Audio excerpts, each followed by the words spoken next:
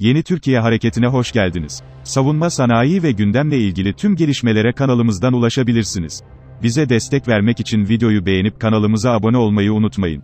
Aselsan tarafından geliştirilen İZA bir radar olan Air sistemi, Fransız Dales lisansı ile Türkiye'de üretilen TRS-22X radarlarının yerini alacak. Bu kapsamda Defense Türk tarafından elde edilen bilgiye göre ilk Air fabrika kabul testlerini tamamlayarak geçici kabul ile Adana'da konuşlu bir TRS-22X radarının yerini aldı.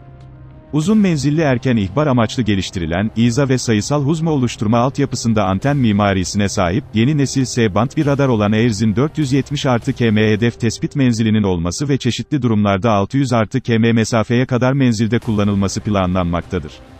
Balistik füzelerin tespit ve takibi gibi rollerde de kullanılacak olan Air düşük radar kesit alanına sahip hedeflerin tespiti için de kritik rol oynayacaktır.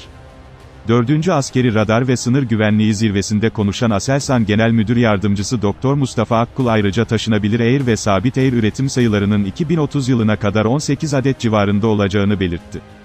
Akkul Eriz'de 4000 adette R modülü bulunduğunu ve bu modüllerin %20'si bozulsa bile menzilde sadece %10 diliminde değişim ile radar çalışmaya devam edebileceğini belirtti. Eski nesil PSA radarlarda ise tek bir kaynak ve alıcı bulunmaktadır. Bu nedenle bir adet kaynak hasar alması halinde radar etkisiz hale gelmektedir.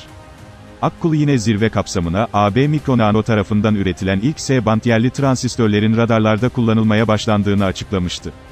Defense Türk tarafından edinilen bilgilere göre ise yerli GAN transistörler, Aselsan erken ihbar radar sisteminde kullanılmaya başlandı.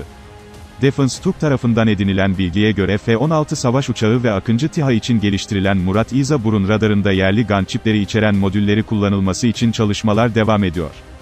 Bu bağlamda ilk yerli modüllerin 2024 yılında kullanılması planlanıyor. Ayrıca ilk burun radarı prototiplerinin 2023 yılında Akıncı'da kullanılması planlanıyor. Bu ürünlerde yurt dışından temin edilen çipleri içeren modüller kullanılıyor. Yerli modüller Aselsan ve Bilkent Üniversitesi ortaklığında kurulan Türkiye'nin ilk çip fabrikası özelliğini taşıyan AB Mikronano bünyesinde üretiliyor.